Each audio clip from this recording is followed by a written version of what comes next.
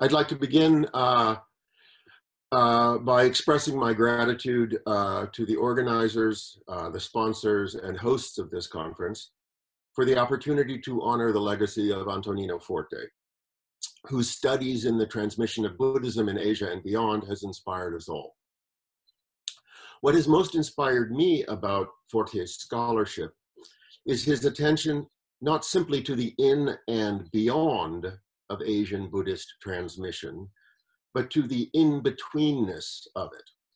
His abiding interest in the interstices of Asian Buddhist histories, in the activities at the Chinese court of a Persian aristocrat, a Sinhalese alchemist, a Brahmin born in China, or a tantric master from Kashmir, to draw just a few examples from his publications, has redefined Buddhist studies as an intellectual pursuit at once transnational and transcultural, and long before such terms were fashionable, or perhaps even coined. So my offering is presented in homage to Forte's relentless pursuit of cultural outsiders, intellectual in-betweeners, and the multiple and unexpected trajectories in the transmission of Buddhism. So here we go. In Kyoto, uh, did that move my, huh. okay. Uh, in Kyoto in the year 1710, a Kegon monk named Hotan produced the first Japanese Buddhist map of the world ever published. Entitled A Handy Map of the Myriad Countries of Jambudvipa, this enormous and detailed map measures nearly four by five feet and is composed of nine woodblock sheets. Lake Anavatapta is depicted at the center of the world, and four great rivers, the Ganges, the Indus, the Oxus, and the Sita, flow from the mouths of four animals, encircle the lake, and extend to the four corners of the world. The immediate source for this telling topographic detail, as well as for all of the place names and landforms of Central Asia and India, is the Great Tang Record of Western Regions, the account by the Chinese monk Xuanzang, whom we just heard about, of his seventh century pilgrimage to the land of Buddhist origins. In Paris, in the year 1836, a French edition of this Japanese map was published. It appeared in the first European language translation of Faxian's Record of Buddhist Kingdoms and was entitled A Map of India After the Chinese with the itinerary of Xuanzang indicated with a dotted line. The French version of the map maintains the axial lake, the four great rivers, and the toponymy and topography of Xuanzang's record. The translation of Faxian's record and of Xuanzang's map was the work of Jean-Pierre Abel Remusat and uh, Julius von Klaproth. Remusat and Klaproth, the academic ancestors of sinology and Buddhist studies in Europe, much like their latter-day descendant, whose legacy this conference honors, transformed the study of East Asian Buddhism in the West. Today, I would like to follow this little-known example of the transmission of Buddhism in Asia and beyond, to ask what this curious moment in the history of cartography can tell us about the development of Buddhist studies in the West. Hotan's map was the result of a thousand years in the East Asian study and veneration of Xuanzang's pilgrimage and of centuries of transcription, experimentation, and innovation by Japanese monks. It also served as the handmaiden or perhaps the midwife to the birth of Buddhist studies in Europe. A history of this unique cartographic object thus requires us to move in two temporal directions, backward from the 18th century to uncover the map's East Asian past, and forward into the 19th century to explore its European future.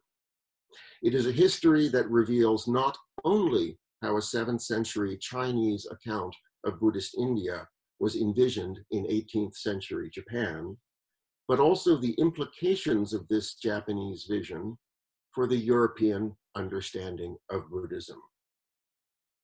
Hotan's map is deeply indebted to a manuscript tradition of Japanese maps that traced and retraced the route of Xuanzang's pilgrimage. Indeed, the earliest extant Japanese map of the world, produced in the 14th century, is based exclusively on Xuanzang's pilgrimage and has a bright red line marking the route of his journey.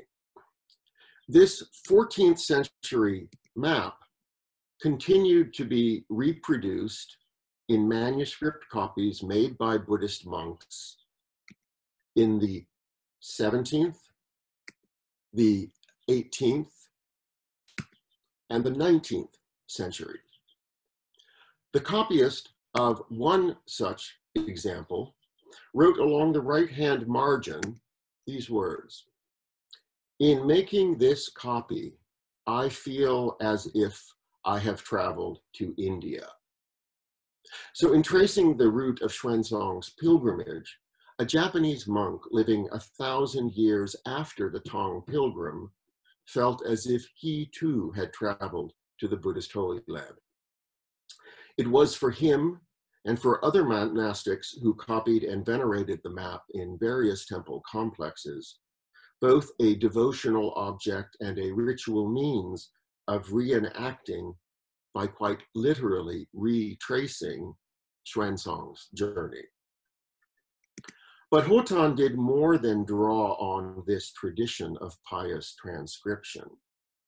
He radically transformed it as well by incorporating Europe, here you see the detail called out on the screen, and the Americas into the margins of the Buddhist world. If Hotan's map reaches back to earlier manuscripts devoted to Xuanzang's pilgrimage, it also engendered a tradition of printed maps that extended to Europe. Less than two years after its initial publication, Hotan's map was redrawn and reproduced in the most popular encyclopedia of the Edo period, Terajima Ryoan's Wakan Sansai Zue. In this encyclopedia, Terajima included the same uh, Matteo Ricci style world map that Wang Qi published a century earlier in his Sancai Tuhui. The Sancai Tuhui was the Chinese model for the Wakan Sansai Zue. But Terajima also includes the central section of Hotan's map entitled A Map of the Western Regions and the Five Regions of India. From Moscovia in the northwest to Mount Lanka in the southeast, Terajima's map of Asia relies entirely on Hotan's map of Jambudvipa. The divisions of the five regions of India, the names and sizes of its many kingdoms, and the four great rivers spiraling from its center all derive from the classic account of Xuanzang's pilgrimage. It was in the form of this simplified, redrawn book illustration, buried in the middle of a 107 volume Japanese encyclopedia, that Hotan's vision of the Buddhist world reached a European audience. The direct source for de and Klaproth's map of India was not Hotan's original map of 1710, but rather the abbreviated version of it published in Terajima's Encyclopedia of 1712. But how did a Frenchman and a German in 19th century Paris get their hands on a copy of the Wakan Sansai Zue? And more importantly, how did they understand the significance of Terajima's version of Hotan's world? Both Klaproth and Remusat were prodigious autodidacts, pioneering bibliographers, voracious and contentious linguists, and founding members of the Société Asiatique.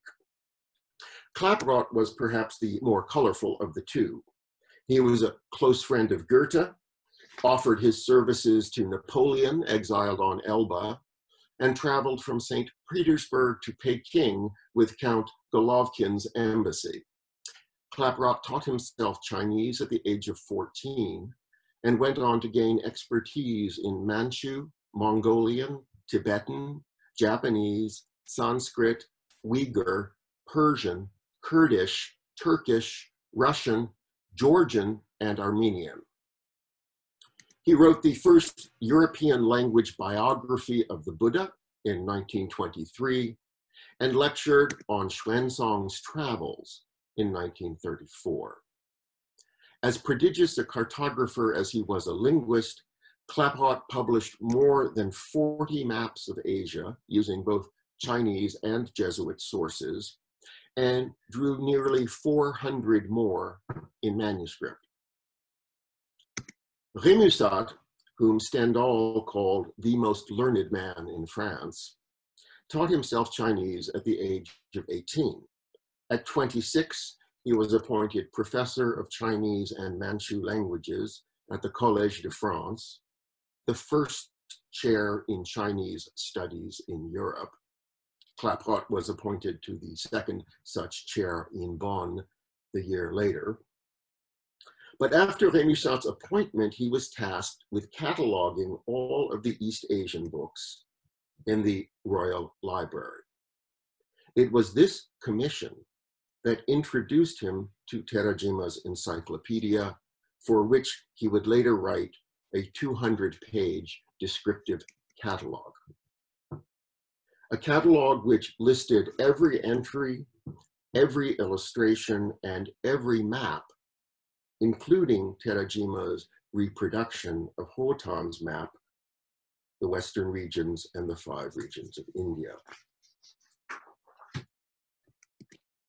Rémusat's translation of Faxian's record was his final and posthumous work, and his friend Klaproth was responsible for the accompanying map of India.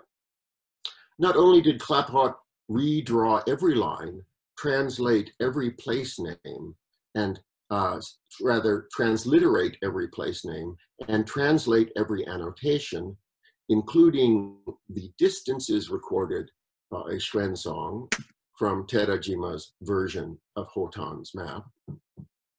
He added something that did not appear in either Terajima's copy or Hotan's original. He re-inscribed the route of Xuanzang's pilgrimage which was absent from both Hotan's original and Terajima's copy. In re-inscribing Xuanzang's itinerary, Klaproth unwittingly perhaps returned the modern printed map to its earlier role of a medieval manuscript. The map Moerman, you have two minutes journey, left. Which had allowed Japanese monks to travel back across time and place to the land of Buddhist origins, offered early European scholars of Buddhism a similar opportunity. This serves to remind us that the transmission of Buddhism in Asia and beyond is always multiple and multi-directional. Its trajectory neither unitary nor universal. The modern European ancestors of Buddhist studies seem to have led us, much like Xuanzang, full circle. The birth of Buddhist studies in the modern West may not only entail, in Max Weber's famous phrase, quote, the disenchantment of the world, end quote, but also perhaps its reenchantment as well. And the relationship between the Buddhist scholar and the Buddhist pilgrim may be closer than we think. Thank you very much.